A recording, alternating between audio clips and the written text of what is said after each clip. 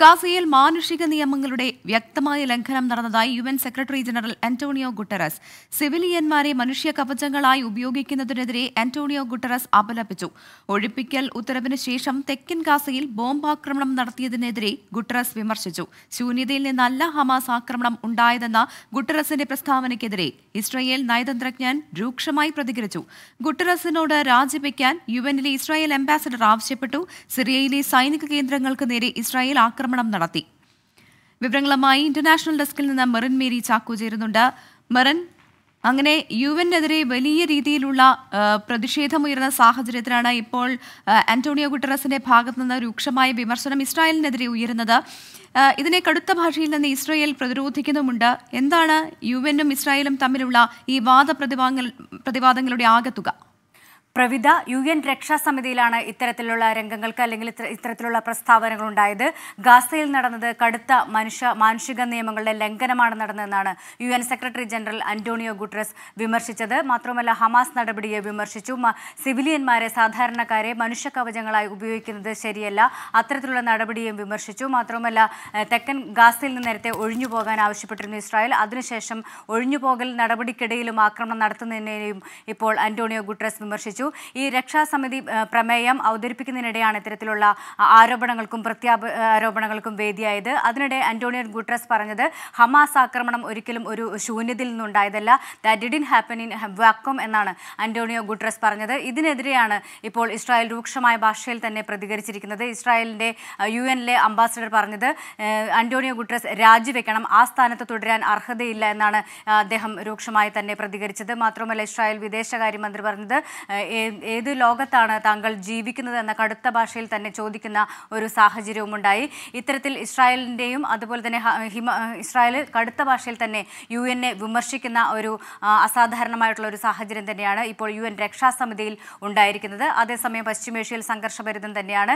ഇപ്പോൾ സിറിയയ്ക്ക് മേൽ ആക്രമണം നടത്തിയെന്നാണ് ഇപ്പോൾ ഇസ്രായേൽ സേന സ്ഥിരീകരിച്ചിരിക്കുന്നത്. സിറിയ നടത്തിയ ആക്രമണക്ക് തിരിച്ചടിയായിട്ടാണ് ഇത്തരത്തിൽ സൈനിക കേന്ദ്രങ്ങൾക്ക് നേരെയും അവരുടെ ആയുധ ശേഖരങ്ങൾക്ക് നേരെയും ആക്രമണം നടത്തിയിരിക്കുന്നതെന്ന് ഇപ്പോൾ ഇസ്രായേൽ സേന ഐ ഡി എഫ് സ്ഥിരീകരിച്ചു കഴിഞ്ഞിരിക്കുന്നു. മാത്രമല്ല ഇപ്പോൾ ഈ ആക്രമണത്തിൽ നേരത്തെ തന്നെ ഈ യുദ്ധം നീണ്ടുപോകുമെന്ന് ബെഞ്ചമിൻ നെതന്യാഹു മുന്നറിയിപ്പ് നൽകിയിരുന്നു. കാരണം ഹിസ്ബുള്ളയ്ക്കും ലബനിലെ ഹിസ്ബുള്ളയ്ക്കും മുന്നറിയിപ്പ് നൽകിയിരുന്നു. തീക്കൊള്ളി കൊണ്ട് തല ചൊറിയുന്നത് പോലെയാണ്. ഇത്തരത്തിൽ തങ്ങൾക്കെതിരെ ആക്രമണം നടത്തിയാൽ അത് തീക്കൊള്ളി കൊണ്ട് തല ചൊറിയുന്നതിന് സമാനമാണ്. അതുകൊണ്ട് തന്നെ യുദ്ധം നീണ്ടുപോകും എന്ന് തന്നെ ഇസ്രായേൽ മുന്നറിയിപ്പ് നൽകിയിരുന്നു. മാത്രമല്ല നേരത്തെ ഇപ്പോൾ ബന്ദികളാക്കിപ്പെട്ട് ഇന്നലെ തന്നെ രണ്ടുപേരെ രണ്ട് ഇസ്രായേലി പൗരന്മാരെ വിട്ടയച്ചിരുന്നു. അവർ തന്നെ വാർത്താ സമ്മേളനം നടത്തിയത്.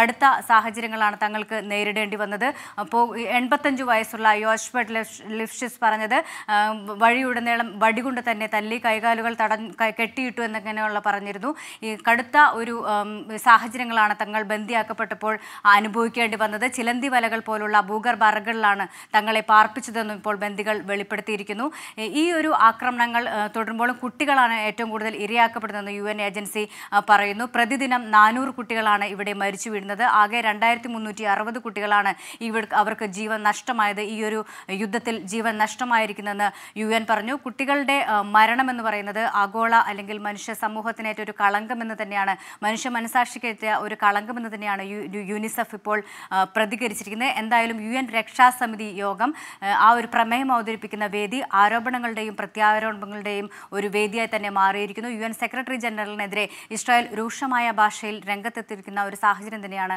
കാണാൻ സാധിക്കുന്നത് പ്രവിത. മെറൻ അതോടൊപ്പം തന്നെ ഏറ്റവും ഗുരുതരമായ അവസ്ഥയിലൂടെയാണ് ഇപ്പോൾ ഗാസ കടന്നു പോകുന്നത് എന്നതിനുള്ള തെളിവാണ്. യു എൻ ഏജൻസികൾ പറയുന്നു അവിടുത്തെ ആശുപത്രികളുടെ പ്രവർത്തനം ഉൾപ്പെടെ നിർത്തേണ്ടി വരും. അവരുടെ പ്രവർത്തനവും അതായത് ഏജൻസികളുടെ പ്രവർത്തനവും നിർത്തേണ്ടി വരുന്ന ഒരു സാഹചര്യമുണ്ടെന്ന് പറയുന്നു. ഇത് എത്രത്തോളം രൂക്ഷമാക്കും അവിടുത്തെ അവസ്ഥ? പ്രവിധ നമുക്ക് നേരത്തെ തന്നെ അറിയാം റഫ ഇടനാഴി വഴി പ്രധാനമായും മരുന്നുകളും ഭക്ഷണവും വെള്ളവും മാത്രമാണ് കടത്തിവിടുന്നത്. ഇന്ധനങ്ങൾ കടത്തിവിടുന്നതിന് അനുവാദമില്ല. കാരണം ഇത്തരത്തിലുള്ള നീക്കങ്ങൾ അത് ഹമാസ് ഉപയോഗിക്കാൻ സാധ്യതയുണ്ട് എന്ന് മുൻകൂട്ടി കണ്ടുകൊണ്ട് തന്നെയാണ് അത്തരത്തിലൊരു വിലയിരുത്തലിലാണ് ഇസ്രായേൽ അത്തരത്തിലൊരു നിബന്ധ നിബന്ധന വെച്ചിരിക്കുന്നത്. അതുകൊണ്ട് തന്നെ ഈ ആശുപത്രികൾ പ്രവർത്തിക്കുന്നതെല്ലാം തന്നെ ഈ ജനറേറ്ററുകൾ ഉപയോഗിച്ചാണ്. അവിടെ വൈദ്യുതി ഇല്ല. അതുകൊണ്ട് ഇന്ധനമില്ലാത്ത അവസ്ഥയിൽ ആശുപത്രികൾ മൊത്തം ഇരുട്ടിലേക്ക് നീങ്ങുന്ന ഒരു സാഹചര്യമാണുള്ളത്. നേരത്തെ തന്നെ അന്താരാഷ്ട്ര മാധ്യമങ്ങൾ റിപ്പോർട്ട് ചെയ്തതാണ്. ശസ്ത്രക്രിയകൾ വരെ നടക്കുന്നത്. മൊബൈൽ വെളിച്ചത്തിൽ തന്നെയാണ് ശസ്ത്രക്രിയ നടത്തേണ്ട ഒരു സാഹചര്യമുണ്ട്. ആശുപത്രിയിൽ വെള്ളമില്ലാത്ത അല്ലെങ്കിൽ സ- അടിസ്ഥാന സൗകര്യങ്ങൾ പോലും ഇല്ലാതെ ആശുപത്രിയിൽ പ്രവർത്തിക്കുന്ന ഒരു സാഹചര്യമുണ്ട്. അവിടെ ജീവൻ രക്ഷാ ഉപകരണങ്ങളില്ല ഓക്സിജന്റെ കുറവുണ്ട്. ഇത്തരത്തിൽ ആശുപത്രികൾ വരെ ഇരുട്ടിലാകുന്ന ഒരു സാഹചര്യമുണ്ട്. ഇതിനെതിരെ തന്നെ യു എൻ ഏജൻസികൾ നേരത്തെ തന്നെ മുന്നറിയിപ്പ് നൽകിയിരുന്നതാണ്. ലോകാരോഗ്യ സംഘടന തന്നെ ആശുപത്രികൾക്ക് നേരെയുള്ള ആക്രമണങ്ങളെല്ലാം അപലപിച്ചതാണ്. എന്നാൽ ഈ ആശുപത്രികളുടെ പ്രവർത്തനങ്ങൾ താളം തെറ്റിക്കുന്ന അവസ്ഥയിലേക്ക് തന്നെയാണ് ഇപ്പോൾ ഗാസയിലെ കാര്യങ്ങൾ നീങ്ങുന്നത്. കാരണം ഇന്ധനമില്ലാത്ത ഒരവസ്ഥയാണ്. കടുത്ത നേരത്തെ തന്നെ കടുത്ത കുടിവെള്ള ക്ഷാമവും അതുപോലെ തന്നെ വൈദ്യുതി ക്ഷാമവും വൈദ്യുതി പ്രതിസന്ധി എല്ലാം രൂക്ഷമായി നിൽക്കുന്ന ഒരു മേഖലയാണ്. എന്നാൽ ഈ റഫ അതിർത്തി വഴി നിബന്ധനകളുണ്ട്. ഈ ജീവൻ രക്ഷാ ഉപകരണങ്ങളും മരുന്നും മാത്രമല്ലാതെ വേറെ ഇന്ധനം കടത്തിവിടാൻ അനുവാദമില്ല.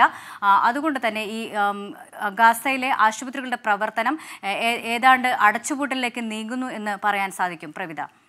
ശരി ഗാസയിലെ സ്ഥിതി അതീവ രൂക്ഷമായി തുടരുന്നതിനിടെയാണ് യു എൻ എൽ വലിയ പ്രതിഷേധം യു എന്റെ ഭാഗത്ത് തന്നെ ഇസ്രായേലിനെതിരെ ഉണ്ടാകുന്നത്.